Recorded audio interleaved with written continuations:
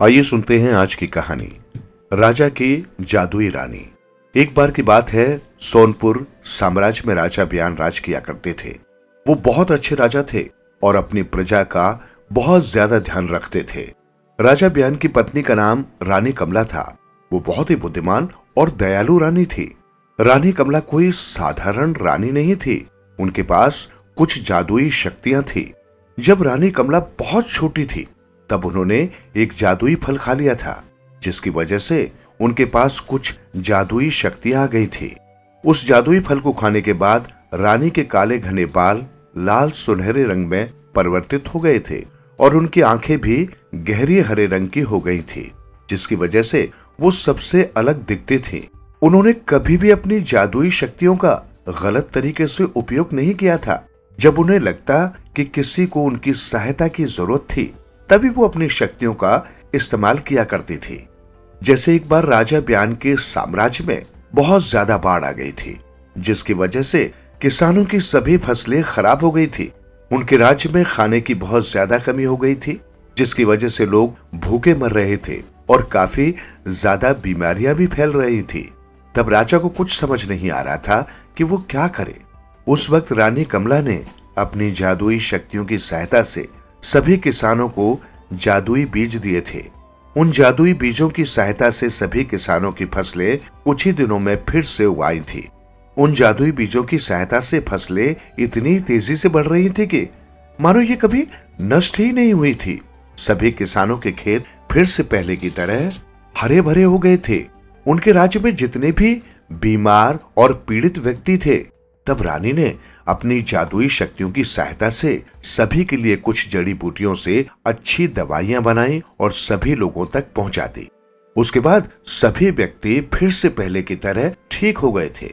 रानी अपनी प्रजा का हर वक्त भला ही करती रहती थी, जिसे देखकर राजा अत्यधिक प्रसन्न होते थे। परंतु रानी का एक राज था, जिससे राजा पूरी तरह अनजान थे। रानी हर रात अपने कक्ष से बाहर चली जाया करती थी और सुबह होने पर ही महल में वापस आया करती थी। रानी ने राजा से वचन लिया था कि वो कभी भी उनसे इस बारे में सवाल नहीं करेंगे और ना ही उन्हें कभी टोकेंगे। राजा की उत्सुकता दिन ब दिन बढ़ती ही जा रही थी। वो जानना चाहते थे कि आखिर रानी रोज रात को कहाँ पर जाती है और उन्होंने हमसे इस बारे में कुछ भी पूछने के लिए मना क्यों किया है। तब एक दिन राजा सोचते हैं कि आज तो वो रानी का पीछा करके ही रहेंगे, क्योंकि उन्हें जानना था कि आखिर रानी रात को कहाँ पर जाती है। फिर उस रात राजा सोते नहीं है और वो जैसे ही रानी को अपने कक्ष से बाहर जाते हुए देखते हैं तो राजा उनका पीछा करने लगते हैं। तब रानी अपने महल से निकलकर एक जंगल के पास पहुँच जाती है। जब रानी वहाँ पर पहुँचती है तो वो एक वृक्ष के नीचे बैठ जाती है। जैसे जैसे रात और ज़्यादा गहरी होती है। उसके कुछ समय बाद रानी एक लोमड़ी में बदल जाती है। जब राजा ये सब अपनी आँखों से देखते हैं तो उन्हें यकीन नहीं होता कि उनके सामने क्या हुआ। उनकी रानी थोड़े समय पहले एक आम स्त्री थी और अब वो एक लोमड़ी में परिवर्तित हो चुकी है। उसके बाद राजा पूरी रात उस वृक्ष के पीछे छुपकर देखते हैं कि आखिर रानी अब क्या करेगी। परंतु रानी कुछ भी नहीं करती और वहाँ पर वृक्ष के नीचे आराम से सो जाती है। उसके बाद जैसे ही सुबह होती है, रानी वापस अपने असली रूप में आ जाती है और वो फिर से महल में चली जाती है। राजा भी रानी का पीछा करते हुए वापस महल में आ जाते हैं। तब राजा से रहा नहीं जाता और वो रानी को सब सच बता देते हैं कि किस तरह उन्होंने रानी का पीछा किया और उन्होंने अपनी आँखों के सामने उन्हें एक लोमड़ी के रूप में परिवर्तित होते हुए देखा। तब रानी बहुत क्रोधित हो जाती है। फिर वो राजा से कहती है कि हमने आपसे कहा था ना कि आप कभी भी हमसे इस बात पर प्रश्न नहीं पूछेंगे और न ही आप कभी हमारा पीछा करेंगे। परंतु आपने अपना वचन तोड़ा है।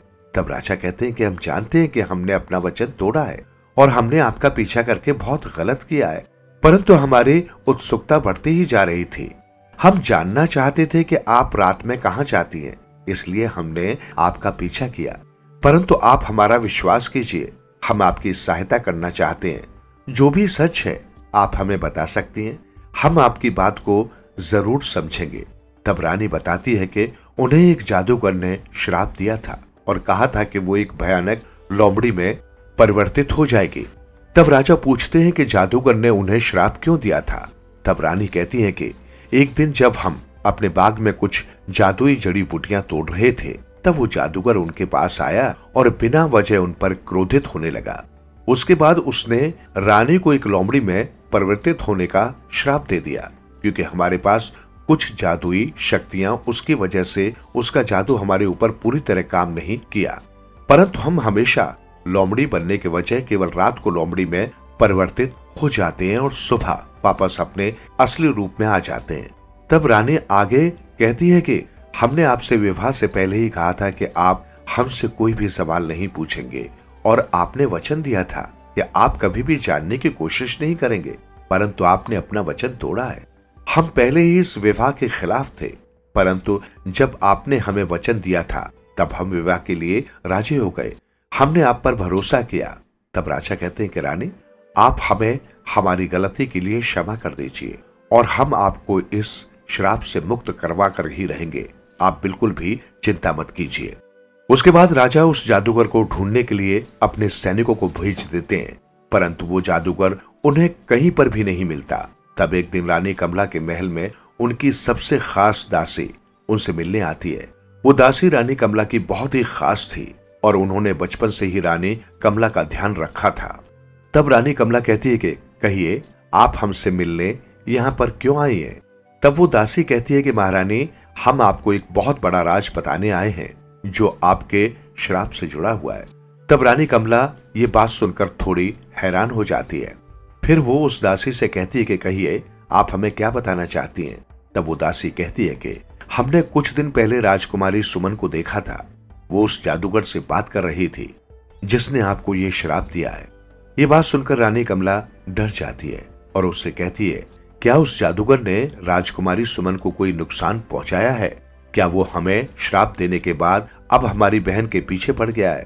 तब वो दासी रानी से कहती है कि नहीं महारानी, जैसा आप सोच रही हैं, वैसा कुछ भी नहीं है। बल्कि राजकुमारी सुमन तो उस जादूगर से आपको मरवाने के लिए कह रही थी। जब रानी कमला ये बात सुनती है तो वो बहुत ज़्यादा हैरान हो जाती है और उन्हें बिल्कुल भी यकीन नहीं होता कि उन्होंने क्या सुना है। तो वो दासी से कहती है, क्या आपको पता भी है कि आप किसी के ऊपर इल्ज़ाम लगा रही हैं? क्या आप अपने होश में तो हैं? तब दासी कहती है कि, नहीं महारानी, हम बिल्कुल सत्य कह रहे हैं। हमने राजकुमारी सुमन की बात खुद सुनी है। उन्होंने ही जादूगर से कहा था आपको श्राप देने के लिए, और अब वो आपको मरवाना भी चाहती हैं। हम यहाँ पर आपको आगाह करने आए थे। इसके बाद रानी ये सब सुनकर अचंभित हो जाती है। उन्हें यकीन नहीं हो रहा था कि उनकी बहन उनके साथ ऐसा क्यों कर रही है। उसके अगले दिन ही रानी कमला अपनी बहन से मिलने जाती है। राजा बयान रानी कमला को अकेले नहीं जाने देते। फिर वो भी उनके साथ चले जाते हैं। तब वो वहाँ पहुँचने के बाद रानी कमला के माता पिता उनका अच्छे से स्वागत करते हैं और उन्हें देखकर वो अत्यधिक प्रसन्न हो जाते हैं। परंतु जब राजकुमारी सुमन रानी कमला को अपने सामने देखती है, तब वो बिल्कुल भी प्रसन्न नहीं होती और उनसे बिना कुछ कहे वहाँ से चली जाती है। तब रानी कमला को राजकुमारी सुमन के ऐसे व्यवहार को देखते हुए शक होने लगता है। फिर रानी कमला सोचती है कि इसका मतलब जो भी उस दासी ने कहा था, वो सब सत्य ही था। इसलिए रानी कमला चौकन्ना हो जाती है और वो अपने साथ एक छोटा आईना रखने लगती है। जब एक दिन रानी कमला अपने बगीचे में टहल रही थी, तब वो जादूगर उनके पास आ जाता है और ज़ोर ज़ोर से हंसने लगता है। फिर वो रानी कमला से कहता है कि, तुम्हारी जादुई शक्तियों की वजह से मेरा शराब का असर अधूरा रह गया। मैं तुम्हें हमेशा के लिए एक लोमड़ी में परिवर्तित कर देना चाहता था, परंतु तुम्हारी जादुई शक्तियों ने ही तुम्हें बचा लिया, जिसकी वजह से तुम केवल रात में एक लोमड़ी का रूप धारण कर सकती हो। तब रानी पूछती है कि, तुम ये सब क्यों कर रहे हो? तब वो जादूगर बताता है कि ये सब उसकी बहन के कहने पर ही कर रहा है। उसके बाद जादूगर जैसे ही अपनी छड़ी की रोशनी से राजकुमारी पर प्रहार करता है, उसी समय राजकुमारी अपने सामने शीशा ले आती है, जिसकी वजह से वो रोशनी टकराकर वापस उस जादूगर से टकरा जाती है और वो वहीं पर चलकर राख हो जाता है। जादूगर के मरने की वजह से रानी कमला का श्राप टूट जाता है और वो उस श्राप से मुक्त हो जाती है। अब रानी कमला को पूरा यकीन हो चुका था कि जादूगर ने उनकी बहन के कहने पर ही ऐसा किया था। उसके बाद वो अपनी बहन से मिलने उनके पास जाती है और उससे ये सब करने का कारण पूछती है। तब राजकुमारी सुमन बहुत ज़्यादा क्रोधित हो जाती है और कहती है कि, जब से तुम्हें जादुई शक्तियाँ मिली हैं, तुमने हर किसी को अपने वश में कर लिया था। हर कोई केवल तुम्हारी ही प्रशंसा करता था। कोई भी मुझसे प्यार नहीं करता था। मैं भी तो इस महल की राजकुमारी थी। कोई मुझसे बात भी नहीं करना चाहता था। और जब भी हम दोनों साथ में होते तो कोई मेरी ओर देखता भी नहीं था। वो सब केवल तुम्हारी सुंदरता और तुम्हारी बुद्धिमता की ही प्रशंसा करते थे। ये सब तुमने जानबूझकर अपने जादू की वजह से किया था। इसलिए मैंने उस जादू से तुम्हें एक लोमड़ी के रूप में परिवर्तित करने को कहा था। ताकि तुम जंगलों में भटक कर अपना बाकी का जीवन व्यतीत करो, परंतु तुम्हारे उस जादुई शक्तियों ने तुम्हें फिर से बचा लिया। साथ ही राजा बयान से विवाह हम करना चाहते थे, परंतु तुमने उन्हें भी हमसे छीन लिया और तुम्हें श्राप मिलने के बावजूद भी राजा बयान ने तुमसे ही विवाह किया। विवाह के पश्चात भी तुम इतनी ज़्यादा खुश रहती थी और तुम्हारी प्रजा भी तुमसे बहुत खुश थी। तो हमसे ये सब देखा नहीं गया। इसलिए हमने जादूगर से तुम्हें मारने को कहा, ताकि तुम एक ही बार में हमारे जीवन से हमेशा के लिए चली जाओ। जब रानी कमला अपनी बहन के ऐसे कटु वचन सुनती है, तब उन्हें उनका ऐसा भयानक रूप देखकर बहुत दुख होता है। फिर वो राजकुमारी सुमन से कहती है कि, ये हमारे पास कोई भी जादुई शक्तियाँ नहीं है। हम केवल इन जादू की शक्ति की मदद से कुछ जड़ी बूटियाँ या लोगों की थोड़ी बहुत सहायता ही कर सकते हैं। हमारे पास उतनी ज़्यादा जादुई शक्तियाँ नहीं है कि हम किसी को भी अपने वश में करके उनसे अपनी प्रशंसा करवा सके या उनसे हम अधिक प्रेम करने को कह सके। ऐसा नहीं है। सभी लोग जितना प्रेम हमसे करते हैं, उतना ही आपसे भी करते हैं। वो तो हर व्यक्ति हमारे बालों और हमारी आँखों के रंग को देखकर थोड़ा सा आकर्षित हो जाता था और अचंभित भी हो जाता था कि आखिर हमारे बालों और आँखों का रंग इस तरह कैसे परिवर्तित हो गया। राजा बयान से तो हम विवाह नहीं करना चाहते थे, परंतु उन्होंने हमारे सामने विवाह का प्रस्ताव रखा और हमें वचन दिया कि वो कभी हमसे कुछ नहीं पूछेंगे। इसलिए हम उनसे विवाह करने के लिए तैयार हुए थे। हम नहीं जानते थे कि आप राजा बयान को पसंद करती हैं। तब राजकुमारी सुमन कहती है कि नहीं, आप जो कुछ भी कह रही हैं, वो सब झूठ है। हमें आपकी बात पर बिल्कुल भी भरोसा नहीं है। उसके बाद राजकुमारी सुमन को बहुत ज़्यादा क्रोध आ जाता है और उनके पास एक फूलों का गुलदस्ता होता है, जिसे उठाकर वो रानी कमला के ऊपर आक्रमण करने ही वाली थी कि तभी वहाँ पर राजा बयान आकर राजकुमारी सुमन को ऐसा करने से रोक देते हैं। उसके पश्चात वहाँ पर उनके माता पिता भी आ जाते हैं और जब वो अपनी पुत्री का ऐसा भयानक रूप देखते हैं तो वो कहते हैं कि हमें आपसे बिल्कुल भी ऐसी उम्मीद नहीं थी कि आप ऐसा व्यवहार करेंगे और अपनी बहन के साथ इतना ज़्यादा गलत करने का सोचेंगे। इसके बाद राजा अपनी पुत्री को कैद खाने में डालने का आदेश दे देते हैं। उसके कुछ समय बाद रानी कमला और राजा बयान वापस अपने साम्राज्य में लौट आते हैं। जब रानी कमला का श्राप टूट चुका था और उन्हें बहुत ज़्यादा दुख था कि उनकी बहन ने उनके साथ ऐसा किया था, परंतु उन्होंने अपनी बहन को इन सब के लिए क्षमा कर दिया था और रानी सुमन को भी अपने किए पर पछतावा था। उसके बाद रानी कमला राजा बयान के साथ अपने साम्राज्य पर राज करती है और अपनी प्रजा के भले के लिए कार्य करती है।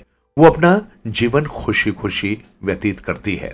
इस कहानी से हमें ये शिक्षा मिलती है कि अगर हम दूसरों का बुरा करने की सोचते हैं तो हमारे साथ ही बुरा हो जाता है। इसलिए हमें हमेशा दूसरों की भलाई ही करनी चाहिए और कभी भी किसी से ईर्ष्या नहीं करनी चाहिए। इस कहानी को सुनने के लिए आपका बहुत बहुत धन्यवाद।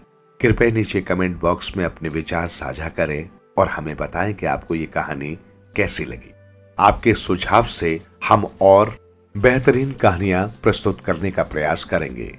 आप हमारे चैनल पर कौन कौन सी कहानियाँ देखना चाहते हैं, कृपया हमें आपके टॉपिक सुझाएँ और हम उन पर कहानियाँ तैयार करेंगे। रही सदैव स्पिरिचुअल टीवी के साथ और हमेशा खुश रहिए।